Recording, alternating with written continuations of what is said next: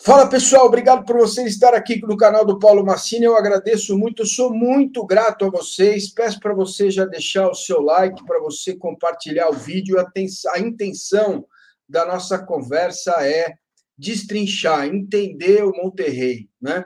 E eu vou conversar com um cara muito especial, foi jogador do Coxa, do Botafogo, é, do São Paulo aqui no Brasil. Ele é conhecido como Juninho, mas o nome dele é Anselmo Vendrechovski Júnior, o Juninho. Ele tem 39 anos, ele é ex-jogador, auxiliar técnico e mora em Monterrey. Então é com ele que a gente vai conversar agora. Eu peço novamente para você recomendar o vídeo, dar seu like e se inscrever, por gentileza, no canal. Fala, Juninho, tudo bem? Tudo bem, Paulão. Prazer estar falando contigo aí, cara. O prazer é todo meu. Meu caro, você que mora em Monterrey, né? É, o ano passado chegou a ser auxiliar técnico daquele treinador. É bravo, hein? O Tuca Ferretti. Ele é, ele é bravo com você também ou só, só aparece? Dá, dá um batidor aí no Tuca. Não, ele é, ele é. Ele gosta das coisas corretas, mas não, ele é, tem o lado humano dele também. É um amigo claro. pessoal que eu tenho aqui. Joguei 10 anos com ele aqui no Tigres, foi ele que me trouxe para cá, né? Fiquei 10 anos com ele como jogador e em dezembro de 2018 eu decidi parar, me aposentar, né, como jogador e já ele conversou comigo para mim continuar ajudando ele como auxiliar, né? Tive três anos com ele como auxiliar técnico e, e agora que ele, saiu, né? A gente saiu na metade do ano passado, decidi dar um tempo um pouquinho para mim passar um, um tempo aí com a minha família. Quer dizer, no Mundial de Clubes você estava lá, né? Tava lá com ele. Tava lá, estava. Ah, como é que foi aquele Palmeiras? E a que visão você ficou daquele Palmeiras, cara? Foi legal, uma experiência muito legal para a gente, né? Foi a maior campanha de um clube da CONCACAF que a gente conseguiu fazer, né? Que primeira vez que um clube da CONCACAF aqui chegou numa final de mundial, né? Foi muito legal naquela época porque tive depois de bastante tempo assim voltei a ter tanto é, muito contato com o futebol brasileiro, né? Claro que eu sempre acompanho, mas é, eu tive que buscar muita informação do Palmeiras, né? Ainda que já, a gente já conhecia, mas eu tive que buscar informação a fundo aí do Palmeiras. É, e tive muita informação de muita gente, muito, muitos conhecidos aí no Brasil, né? Muita gente me ajudou aí e a gente sabia que ia ser um jogo muito complicado, né? Mas a gente estudou bastante Palmeiras, né? os pontos fortes, os pontos fracos daquele Palmeiras, né? E a gente conseguiu pôr em prática no jogo tudo que a gente que a gente tinha planejado e, e conseguimos uma, uma grande vitória. Muito bem. Bom, de um ano para cá, mudou o adversário, não é mais o Tigres e sim o Monterrey. Você que mora na cidade, conhece o clube, eu sei que é um clube muito forte, aí tem muito dinheiro, investiu muito mais que o Palmeiras ao longo do período, né? Uhum. Tem jogadores excelentes, né? O Messi é um jogador muito bom, Funes Mori, jogadores com muita qualidade técnica. É. Conta pra gente é, como que é basicamente o treinador, o que, que ele pensa do jogo, como que ele gosta de ver o time em campo.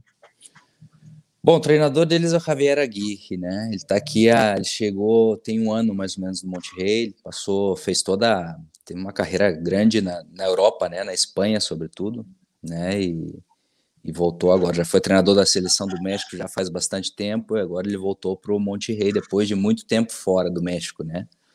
É, Está aqui um ano, um ano e pouquinho no, no Monte Rei.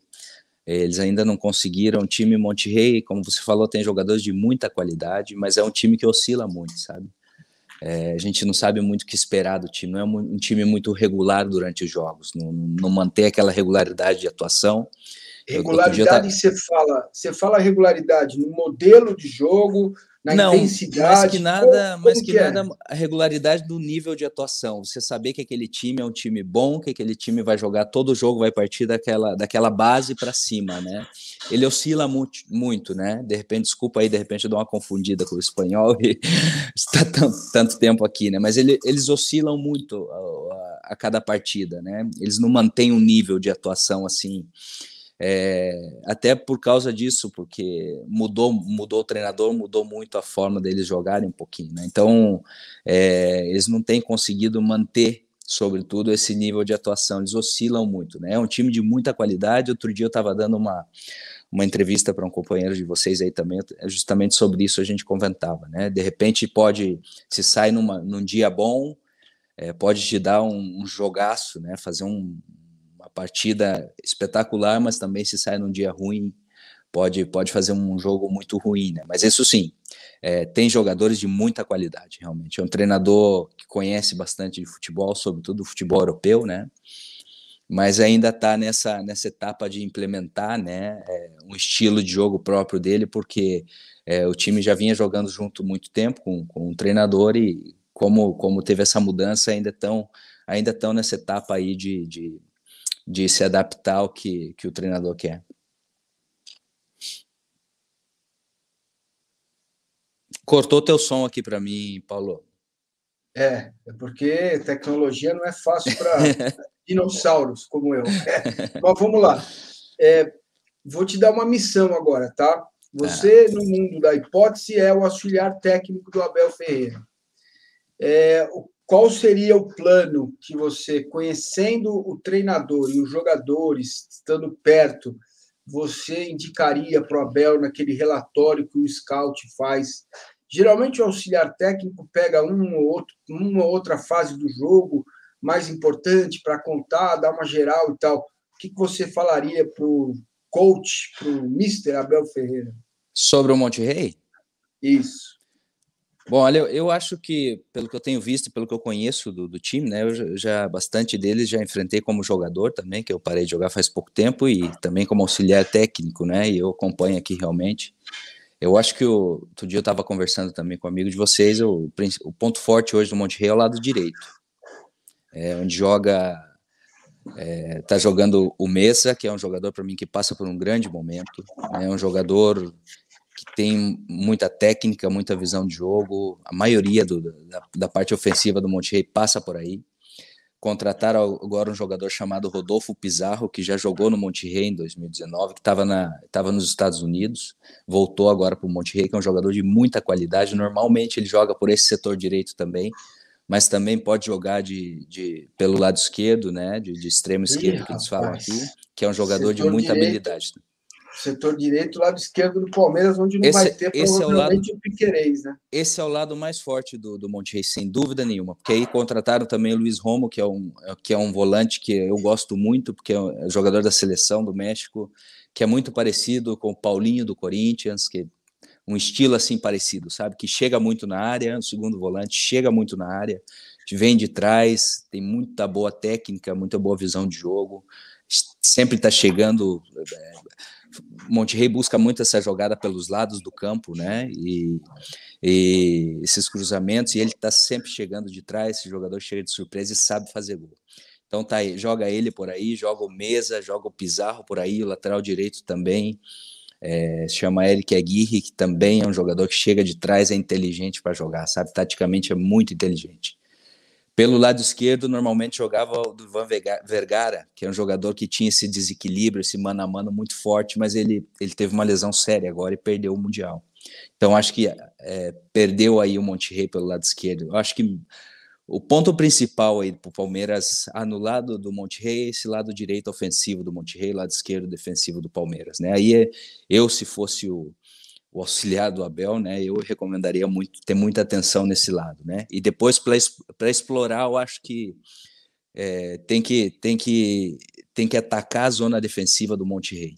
Tem que pressionar o Monte Rei na zona defensiva, porque são são zagueiros que não são rápidos, apesar de ter uma certa técnica. Tem o, o zagueiro canhoto que é que é o Hector Moreno, que é o jogador da seleção, um jogador muito experiente, mas já está com 34, 35 anos. Já as velocidades dele já não são tão. Acho que com o Rony aí, principalmente, pode, pode tirar muita vantagem, né? O outro zagueiro é o, é o César Montes, que é um que não viajou agora, porque ele saiu com a seleção e saiu positivo com Covid, mas aí estão dizendo que se, se, o, se o Monte Rei passar, é capaz que ele, que ele alcance para ir para ir para esse jogo, né? Se joga ele é um jogador de quase dois metros de altura, também, até pela própria altura, não é um jogador rápido, né? Então acho que por aí, o, sobre todos os dois, sobretudo os dois centrais do Monte Rei, é por aí onde o, o Palmeiras pode pode causar problema para o Monte Rei, né? So, sobretudo sobre a velocidade do Rony e, e pressionar, né? Pressionar, eu, eu sairia a pressionar o Monte Rei em cima, não deixar não deixar ele sair jogando, porque eles têm muito claro a, a, sua jogada, né? Eles não são muito diferente do Tigres, né? Que é um Tigres que um time que joga mais na posse de bola. O Monte Rei é mais uma ligação direta, mais ou menos o que era aquele Palmeiras que a gente enfrentou, né? Muita ligação direta sobre o Luiz Adriano, a velocidade do Rony, assim eles jogaram naquela época, né? E assim, mais ou menos assim joga o Monte Rei. Se pressiona um pouquinho, eles vão tratar de dar esse chutão sobre o Funes Mori, que é um, que é um atacante que, que é muito forte, né? Esses argentinos chato, que brigador, que protege bem a bola, que está sempre brigando com os, com o zagueiro, e depois para que esse pessoal venha de, de trás apoiar e, e, ter vantagem numérica de jogador, né, para ganhar esse rebote e partir daí o ataque. Muito bem, o Juninho volta agora, eu vou, eu vou só falar uma coisa importantíssima para vocês, que é o OneFootball. O OneFootball é o melhor aplicativo de futebol do planeta, tá?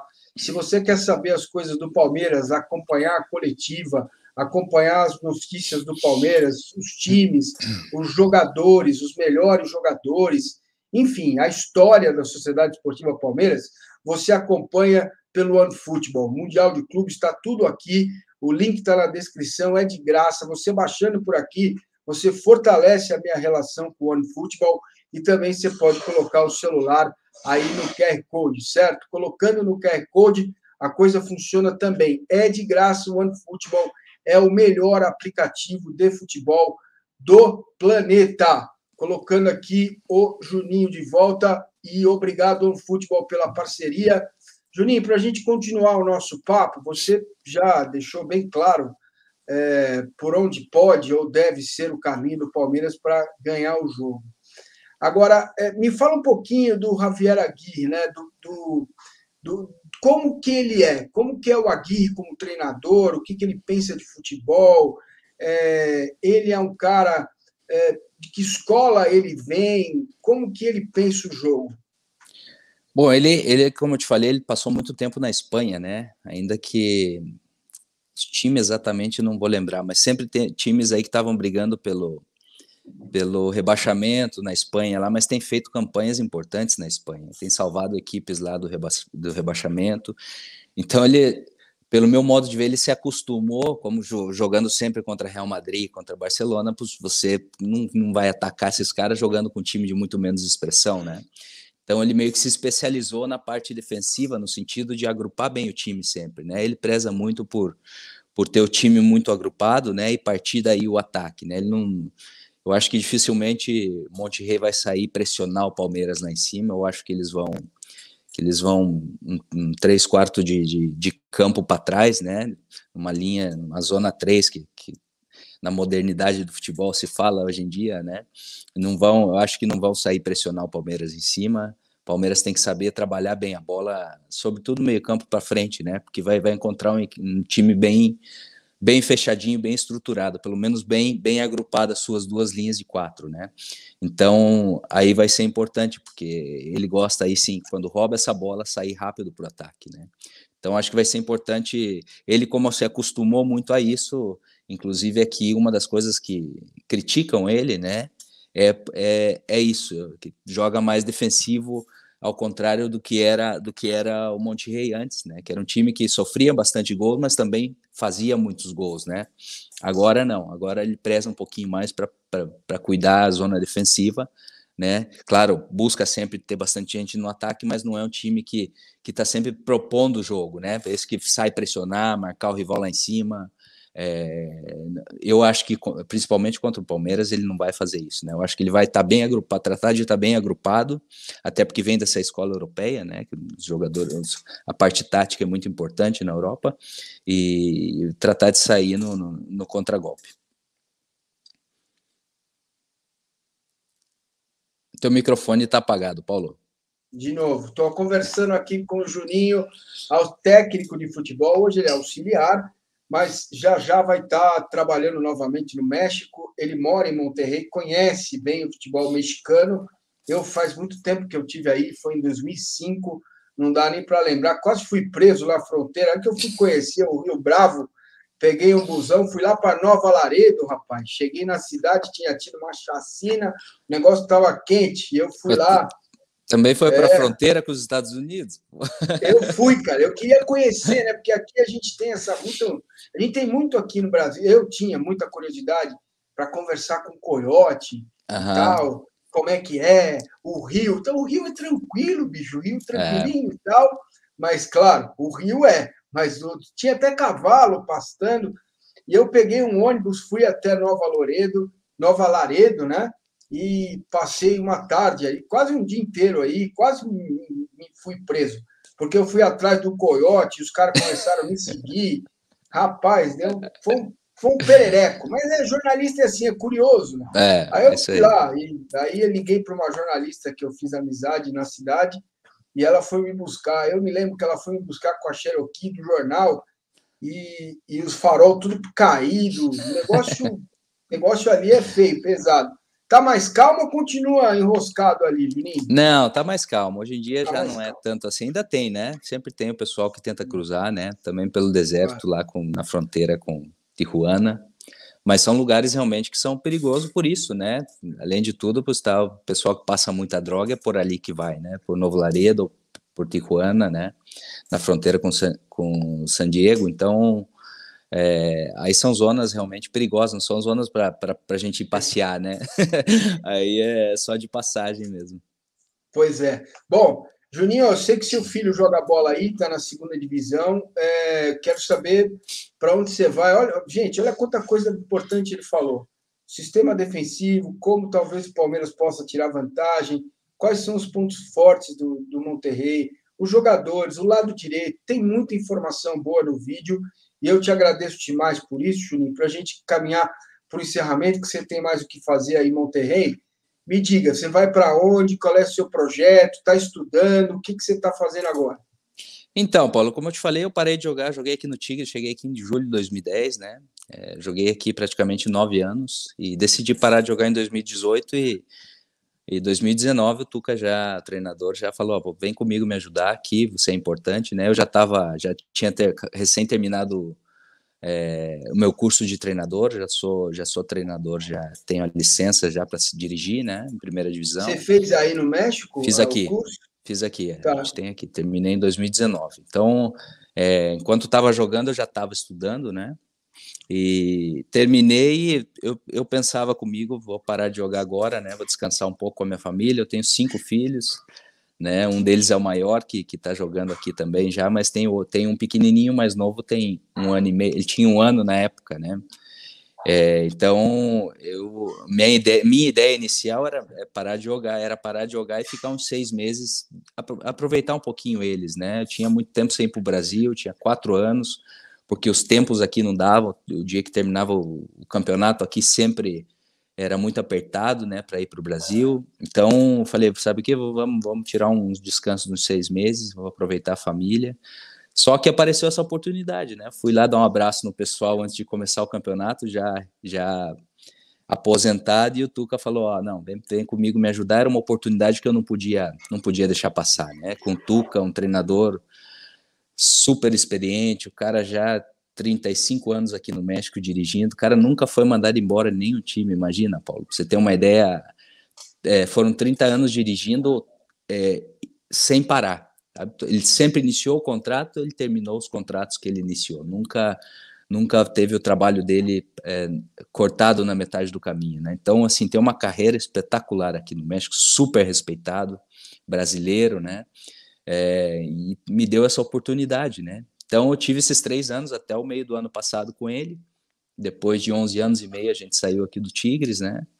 É, trocou os diretores aqui, fizeram uma, uma troca aí de, diretivo, de diretores na, na, na parte de, de, administração do clube, decidiram por, por não renovar o contrato dele, e eu aproveitei também, o, o pessoal do clube queria que eu ficasse como auxiliar definitivo do clube, né? E ele também queria me levar com ele, porque ele foi para o Juárez agora, né? Saindo do Tigres, ele foi para o Juárez. E eu pedi um tempo, agradeci ele e, e agradeci o clube também, porque realmente eu precisava desse tempo com a minha família, né? É, que eu nunca tinha tomado em 20 anos de carreira, né? Então, eu estou nesse tempo ainda, Paulo. Claro, é, aprendendo, acompanhando muito futebol, me atualizando a cada dia, mas, sobretudo, agora a prioridade, pelo menos até o meio do ano, é é estar com a minha família, ver meu filho pequenininho crescer, acompanhar o desenvolvimento dos outros quatro filhos, né? E tá um tempo legal, assim, porque eu tô aproveitando muito, sou muito agradecido a Deus por, poder ter esse tempo com eles, porque é uma carreira, jogar futebol é muito bom, né? Sou muito agradecido a Deus, né, por, por ter feito uma carreira importante, mas assim, também, como todo trabalho, né, tem o seu lado de, de sacrifício e tudo isso, né? E um dos lados que afeta muito é esse lado, né, da, da, da família, finais de semana, férias, você perde um pouquinho né, o acompanhamento dos filhos, e é isso que eu estou priorizando agora. É, pois é, rapaz, eu sempre falo para o pessoal, eu fiquei 30 anos, é, 20 anos enfurnado na redação do Grupo Globo, depois mais 6, 7 aí para em outras emissoras, e quando eu saí do Grupo Globo, mandaram eu embora, eu vim aqui para esse quarto onde eu tô, e aí eu fui arrumar umas caixas, você fica meio parado, assim, você fica meio, ah, vou arrumar alguma coisa para fazer, né? Estava vendo negócio de rescisão e vai receber, quanto vai receber. Aí eu vim aqui arrumar, rapaz, eu achei uma caixa cheia de fotografia. E aí eu comecei a ver as fotos, né? E aí era aniversário, batizado, não sei o quê. Eu chamei a Renata, minha esposa, falei: vem cá, eu não estou em nenhuma dessas fotos, o que, que foi? É. Você, você, você passou é, os últimos 25 anos da minha vida. Ano novo era aqui, é. e Natal uh, um Natal ou Ano Novo. Então a galera acha que é fácil, que é legal, que é bacana, e é legal, e é bacana. Claro, claro. Mas tem um, tem um custo, né, Juninho? Tem um custo. É, é isso como todo trabalho, né, Paulo? No é futebol é, isso, é assim. Eu, por claro. exemplo, quando eu parei, eu tinha quatro anos que eu não ia para o Brasil, cara, porque o torneio aqui termina no, no, meio do ano, né? E aqui é diferente do Brasil. Aqui, como é mata-mata, fase final, eu nunca sabia o dia que a gente, a gente podia ser eliminado na, nas quartas de finais ou aí até final, né? Então não podia comprar os voos porque não sabia o dia, né? Era sempre muito apertado. E já quando acabava o torneio, no outro dia ia comprar os voos, ou era daqui uma semana ou, ou dez dias, não tinha voo. Então, como as férias aqui eram férias, não podia perder tantos dias, não, não é muito longe, né? Então, em vez de ir para Lápis, eu trazia meus pais para cá, o meu sogro e minha sogra, e e abrir a mão de estar tá lá com a minha família, com os tios, tias, né? E depois desse tempo que eu fui para lá, tinha quatro anos que eu não ia, justamente por isso, né? E aí que você falou, são tempos que não voltam atrás, né, Paulo? A gente vê as crianças crescer, o tempo passa muito rápido e, e, e, a gente mede, né? Você, claro, perde por um lado, do lado financeiro, você abre mão do trabalho, tudo isso, mas você ganha coisas que, que realmente não tem preço, né? Que é esse convívio com, com a família. Perfeito. Mas já já você volta Daqui a pouco a gente vai saber onde que o Juninho está. Por favor, manda mensagem para mim, fala, claro. oh, eu estou aqui, estou indo para tal clube e tal, a gente faz mais uma conversa.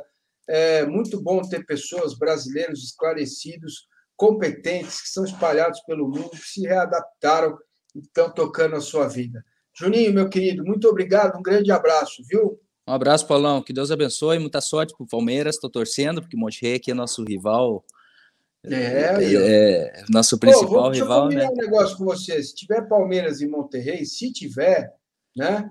É, você volta aqui no canal. Vamos, vai ser legal porque é, eu acho que vai ser mais legal, mais fácil, né? A gente conversar e eu acho que vai ser mais, mais proveitoso porque aí sim vamos ter a base desse jogo do, do Monterrey contra o Awali, né? Ver como que eles vão jogar direitinho, né? Porque, por uhum. exemplo, o Pizarro e o, e o Romo chegaram agora, né? Então a gente não sabe ainda, geralmente, o que, que, que, o treinador está pensando lá, né? Mas assim, combinado, Paulão. Você tem meu, meu celular aqui, a gente bate papo Sim. aqui, por, manda mensagem aí, a gente combina assim, depois a gente vê o que, que vai dar e, se Deus quiser, o Palmeiras vai para passar passar para essa final. É, rapaz, já pensou essa foto que está aqui atrás? Felipão, Abel, e aí mais para frente, né? O Juninho vem, ganha a Libertadores no Palmeiras, a gente faz a foto e bota ele aqui. Isso aí. Tá bom? Um abraço, meu Valeu, amigo. Paulão. Valeu, Deus abençoe, um abraço, cara. Tchau, tchau. Tá aí o Juninho. Curte, compartilha o vídeo. Deixa eu encerrar e vamos nessa. Muito obrigado pela sua audiência. Dá o seu like aí, porque a gente está fazendo um trabalho sério. Não sei se é bom, mas é sério. Valeu? Um abraço, até mais.